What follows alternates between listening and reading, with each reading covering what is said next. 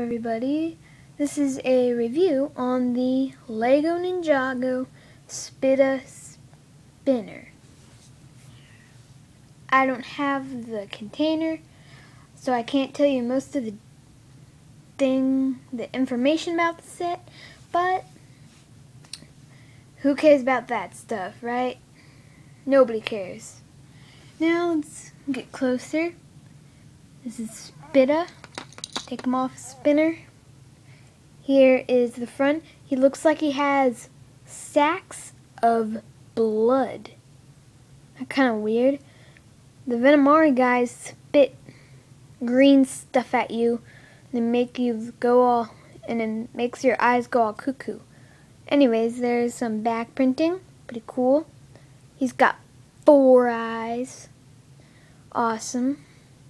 Some two big fangs compared to his body. His head actually came in a separate bag. Nothing else was in that bag except his head. And the bottom printing and the top printing. He has dark green arms and the dark green head with some black hands. And now let's check out his spinner. Let me see if I can get the crown off to show you the bottom. Ugh. There we go. Here's the bottom. Here it is without its crown. See this with snake venom or whatever that is. Little scratches. It's very cool. It's kind of a glowing thing in the camera.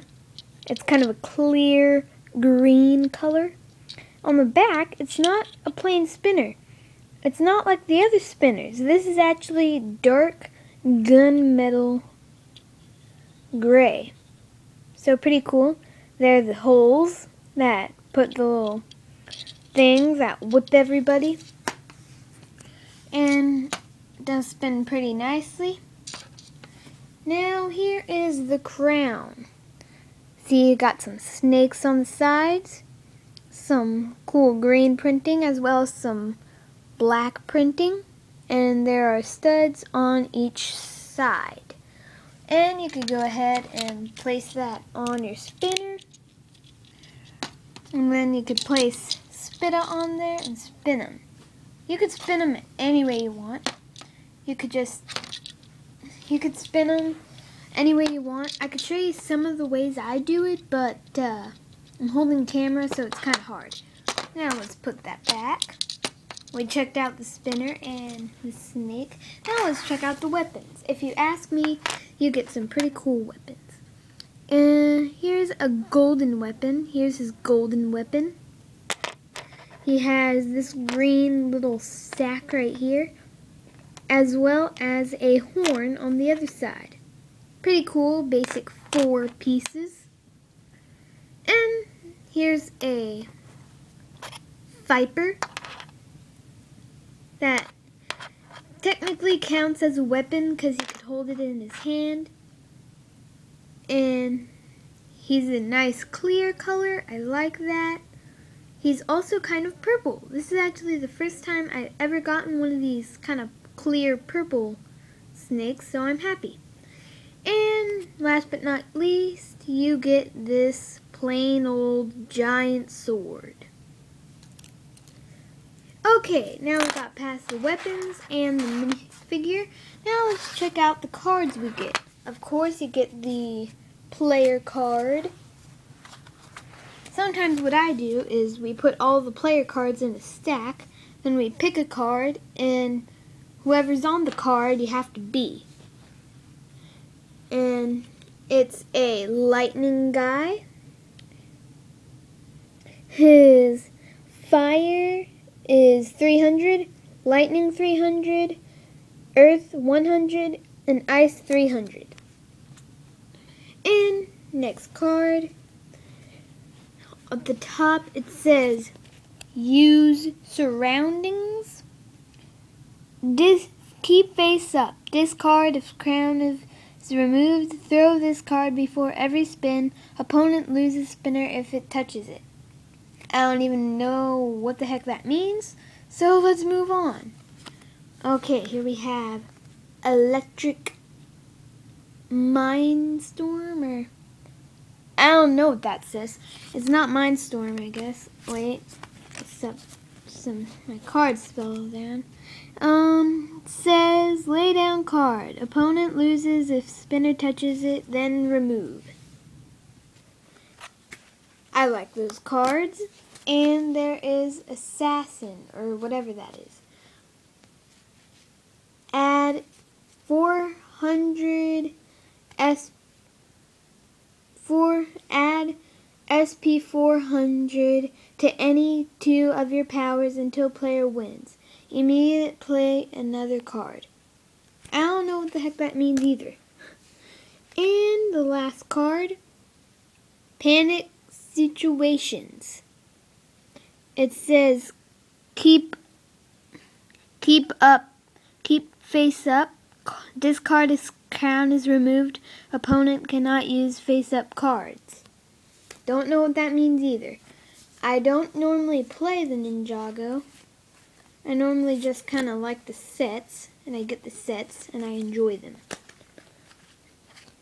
And also, you get the two 1x2 bricks plus a 2x2 plate to stand up your cards. And just stick your cards on there. Well, let's go ahead and test this out with a booster pack. You could go ahead and test it out with the the one that looks the best, I think. The one that looks the best to me is Well, you probably know what I'm doing right now and to put it on the stuff. I just had it to the side right now. Don't have the thing that makes it taller. I don't know why I didn't pick that up. Okay. Anyways, it, it looks best with the Lizu or something booster pack. Go ahead and spin him. We'll go ahead and spin him. There.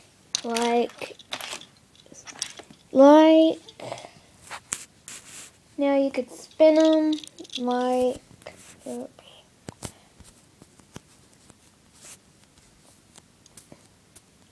Now you could spin them like so. And you could get another spinner and have them battle. The battle between good and evil.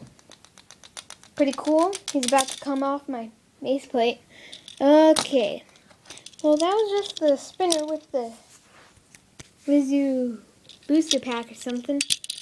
And you could simply take all this stuff off whenever you won or the other player won. Yeah. Uh, these little holes things out. Just gotta get a finger hold there. Aha.